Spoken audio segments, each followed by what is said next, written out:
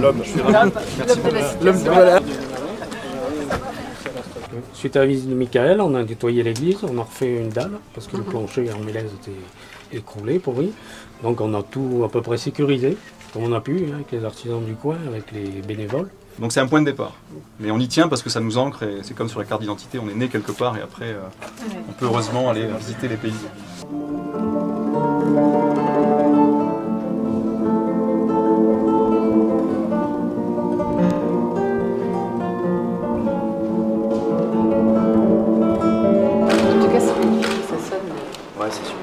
C'est formidable. magique, parce que vous avez la qualité du son, ce qui est vendu à travers Bah, C'est-à-dire que c'est des, c'est des-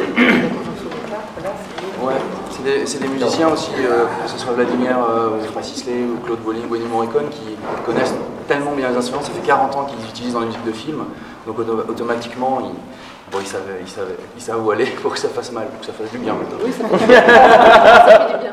Une petite table qui euh, présente la sélection de livres. On est en partenariat avec la librairie des Maupassants à Gap. Il y a des disques. Et c'est un espace de vie. euh, il y a bien une heure après le concert où ça continue de vivre. euh. Et donc j'ai été très bien accueillie en musique. Vous en avez de la même. chance. Ce sont nos bureaux d'été. On a un bureau à Gap qui est vraiment notre camp de base. L'été, on monte ici. Toutes les flèches en bleu, c'est les concerts du festival, de l'été. Donc vous voyez, chaque fois qu'il y a une commune, il y a une flèche et il y a un nombre de concerts. Parfois c'est un, parfois c'est trois.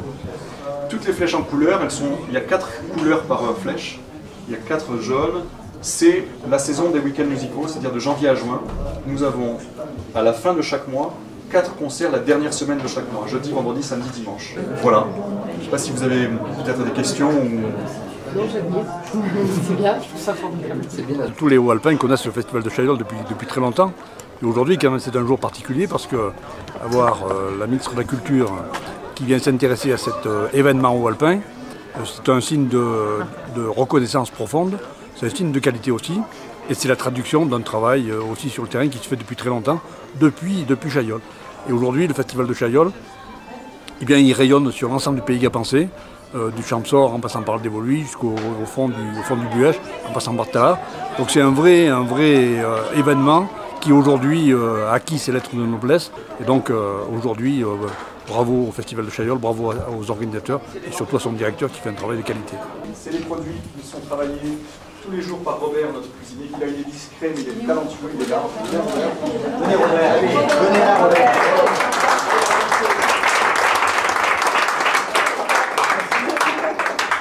C'est un moment qui a du sens aussi pour nous parce que ce ne sont que des produits du territoire. Il y a beaucoup de fruits et légumes et de fleurs aussi du jardin Robert. On travaille sur une idée de circuit court, on travaille notamment avec l'échange paysan, qui est une plateforme de distribution qui travaille sur la question de la commercialisation euh, d'intérêt général. Essentiellement partout dans. Comment est-ce que vous euh, C'était le premier projet de diversification culturelle dans une station de ski. Diversification économique culturelle, c'est le seul qui l'a monté, c'était lui. Sûr, on est une commune touristique, mais la, culture euh, fait de plus en plus partie intégrante de la, euh, bien évidemment du, tourisme, puisqu'il y a le réchauffement climatique, puisqu'il y a un peu tout un tas de soucis qui, viennent se greffer aux stations de ski. Aujourd'hui, ben, ma foi, on est très heureux d'accueillir une ministre de la Culture qui vient jusqu'à Chaillol pour, voir ce- pour se rendre compte de ce qu'est ce festival. Et je crois que c'est quand même quelque chose d'exceptionnel d'avoir la visite d'un ministre, en tout cas sur la commune de Chaillol et pour le festival de Chaillol. C'est très valorisant et encourageant pour les organisateurs et tous ceux qui, qui participent à ce festival.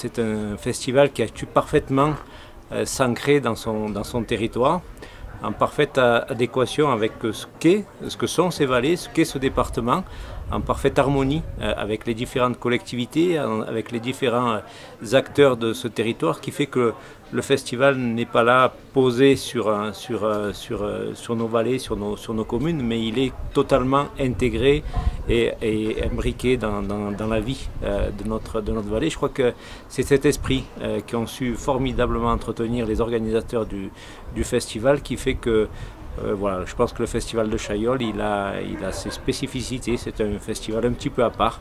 Et je crois que c'est ce qui en fait tout son charme et toute sa, toute sa qualité. On défend beaucoup la création musicale au festival de Chaillol, vous savez. La création musicale ne peut pas exister s'il n'y a pas la mémoire qui va avec. Donc la tradition occitane, pour nous, c'est aussi une manière de nourrir la création musicale. Ici, on est dans un geste qui est exactement à cette articulation. Euh, Damien Toumi, qui fait partie de l'ensemble Tankelician, que nous avons accueilli il y a quelques, quelques mois, fait un travail énorme de collecte, à la fois de poèmes, de textes et de musique autour du Mont Ventoux, qu'il se réapproprie, qu'il réinvente complètement. Donc on est à l'articulation vraiment entre euh, la mémoire traditionnelle, le patrimoine et la création. Les espaces que nous mettons en œuvre, de, les ateliers notamment, c'est une volonté d'associer le public à un geste musical, à être dans le faire, et pas simplement être dans une attitude passive de spectateur. En réalité, il y a il n'y a jamais une attitude passive de spectateur, mais là on est encore plus actif que quand on est au concert. Ça représente un peu, j'allais dire, un ovni dans le paysage des festivals français parce que je trouve que c'est le seul festival qui a su à la fois se nourrir du territoire dans lequel il est, apporter lui aussi beaucoup de choses à ce territoire et qui au fur et à mesure des années s'est imprimé comme étant un pur produit du territoire sur lequel euh, le festival a un jour posé ses valises.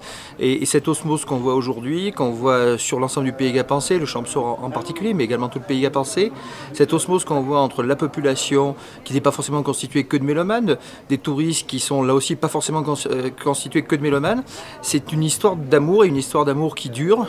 Mais c'est quelqu'un qui, euh, avec le prestige son festival, la qualité, l'esthétique, tout ce qui s'en dégage, accepte aussi d'être curieux et de prendre des risques en fait. Et comme il a une, une relation au public de son territoire très, très pertinente, très construite, très intelligente, bah, du coup forcément ça fonctionne. Donc on t'en remercie Merci. et c'est vraiment un plaisir de... Parce que c'est pas si fréquent, il faut quand même le signaler et euh, c'est une grande qualité de, de ce festival.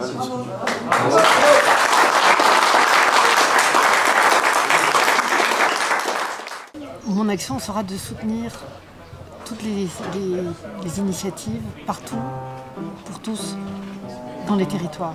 Et ce qui se passe ici est vraiment emblématique de cela. Un festival ancré dans des territoires qui diffuse, qui euh, rassemble les gens, qui est sur un point fort pendant l'été et le festival, mais aussi toute l'année, qui est aussi euh, interdisciplinaire aussi, et qui fait attention à toutes les musiques, sans un, un a priori. La, la, notion de diversité me semble ici euh, être euh, pleinement euh, proposée et défendue. Et moi, étranger, et des, en concert à la grande ville, comme le compositeur allait à la, à l'étage et faire comme ça et, et c'est fini. Euh, non, vraiment, c'est mieux engagé. Michael nous a donné la mission de composer euh, pour un lieu dans une forêt de hêtres. Et euh, donc euh, sentir la lumière, la douceur de la voûte sylvestre qui a un son très particulier. Et au-delà de cette mission-là qui nous a été confiée aussi par Hervé qui a, fait, qui a étudié le lieu, on, moi je me suis rendu compte que c'était des populations qui avaient vécu là, qui étaient passées par là, qui avaient travaillé dans ce lieu et ça c'est leur grande force de nous avoir aussi donné cette dimension-là. Voilà, il euh, y a un esprit dans ce lieu. Et voilà, donc c'est génial. Et ce chantier qu'on a mené ces, cinq premiers jours est vraiment euh, une première graine d'un chantier qu'on souhaitait mener sur l'écriture, l'improvisation, de manière complètement acoustique, dans des lieux euh, naturels. Et, euh, voilà, donc on est hyper heureux de pouvoir vous présenter ça. Merci. Euh, voilà, un grand merci à toute l'équipe de Chaillol, évidemment, à Mickaël d'avoir proposé cette, cette possibilité-là.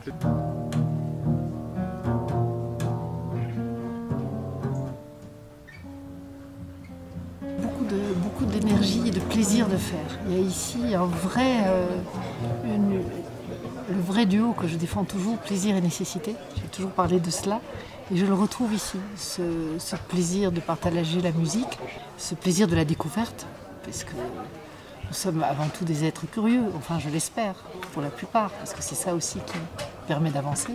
C'est une chose qu'on sent, euh, l'amour de la musique, l'envie d'être, euh, de, ne laisser personne sur le côté, d'aller vers tout le monde et d'être dans tous les interstices du territoire.